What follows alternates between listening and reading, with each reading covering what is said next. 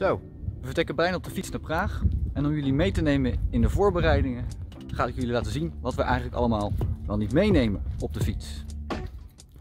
Alles uitgestald wat er normaal gesproken op aan de fiets zit.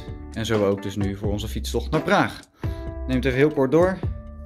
Slaapspullen, slaapzak, slaapmatje, uh, heel klein opblaasbaar kussentje, een stoel om op te zitten, um, een hoes voor over de fiets, regenbroek, regenjas, twee handdoeken, uh, nee, voor als je gewond bent, slippers, reparatiespullen voor in de fiets. Deze tas zit aan het frame vast met het pompje erbij wat daarboven ligt, een, goede, uh, een goed slot, de mascotte met daaronder de mondkapjes, twee bidons, wat waarschijnlijk niet genoeg gaat zijn gezien de hittegolf.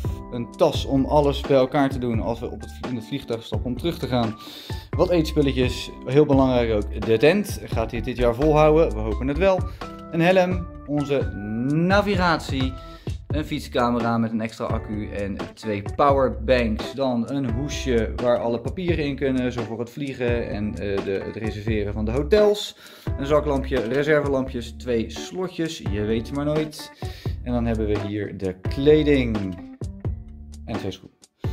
En dan uiteindelijk verdwijnt dat allemaal in de vier tassen die daar staan. Met als extra een rugtas op de rug voor boodschappen, eten en dat soort dingen. Dit is wat ongeveer allemaal meegaat op de fiets.